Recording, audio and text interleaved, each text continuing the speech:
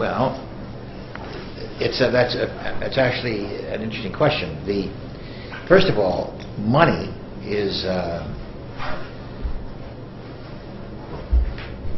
prior to money. uh, This is going to sound like a long answer, but I'm, I'm not quite sure I know the nature of your question. But let me see how I can handle it. Prior, thank you. Prior to um,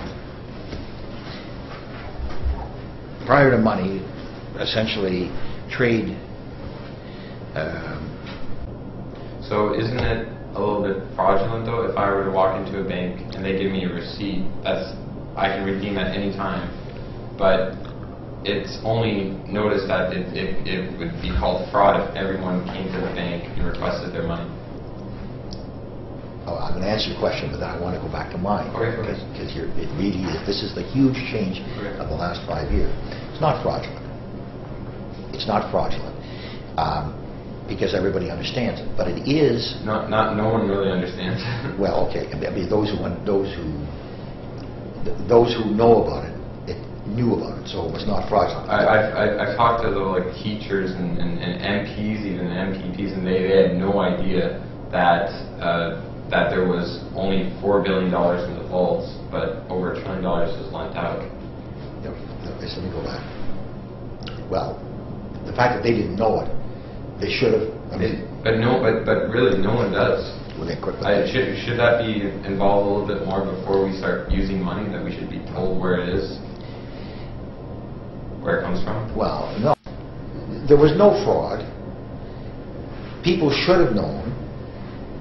And, but there really is a problem. And that is that the people who knew didn't stop it. But I want to go back to the, the, the real thing, because this is, this is really the, gen- you had asked the question at the very beginning, but the financial crisis that we're in. Oh, well, it was just where does money come from? I'm, I'm not, yeah, this No, but wait a minute, but it's really important to understand what happened that me, normally a very staid banker, will lend you the money to buy a home that you don't think.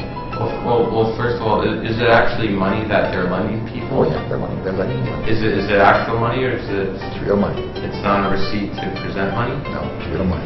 Isn't there a difference between bank Well, credit? Yes, there is, but, but let's go back to it. You're- Don't change the subject. Okay. But um, no, but wait a minute. Unless you want to get, you're asking me what was the cause of the current crisis. Well, well, no, like, I, I just want to know where money comes from. Well, let me tell you something. Let let me just take it one step further, despite the fact that's not where you want to go. Would, would uh, a debt-free money system be good for the country or no? No. No, it would, it, it, it's, it wouldn't.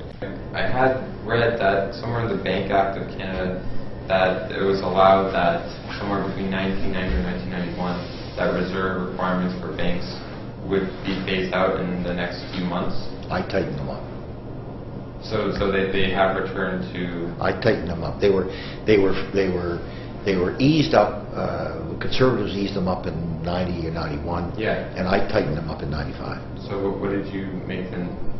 What what is the? You What- said what- between What they are now. What they are now. It's roughly, roughly seven to one. roughly seven. to 1. But I want to go back to the main question. Maybe he means he tightened it up so much that it slipped right through his fingers back into legislation.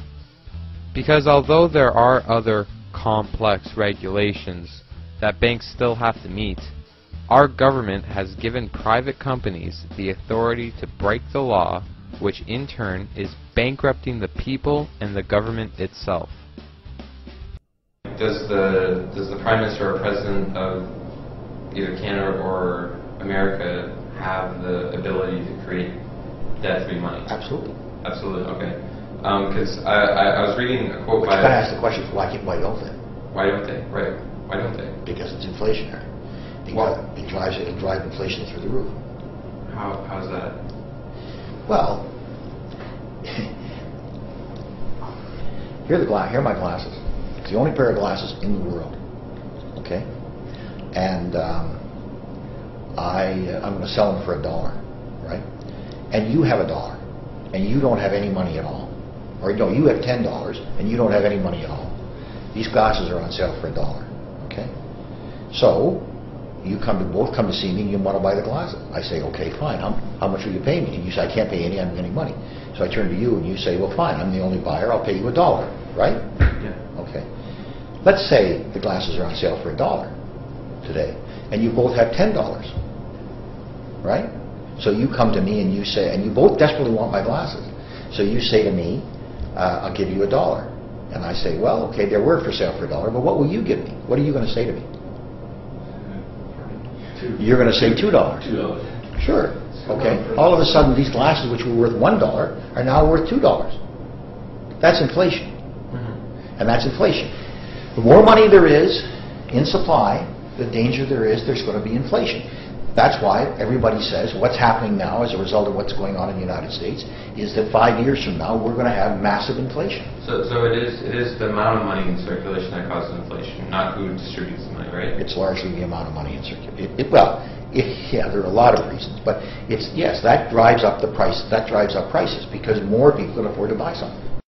Okay, I'm going to replay the last few seconds of that. Remember, he began saying that it was borrowing money from the Bank of Canada that would cause inflation. The more money there is in supply, the danger there is there's going to be inflation.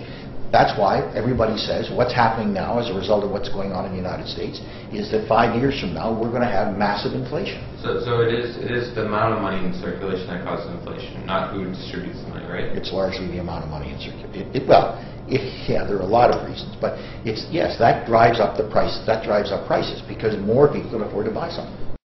I think what he's trying to say is now that he's allowed the private banks to make up this magical money that keeps growing in their favor, the government shouldn't borrow money from the Bank of Canada since they would have to create new numbers that don't already exist. But if the Bank of Canada had just been doing its job from the start, it wouldn't make a difference anyway. Do you see how absurd it is to say that the Bank of Canada causes inflation? Besides, since 95% of money is created by private banks, they're the cause of 95% of inflation.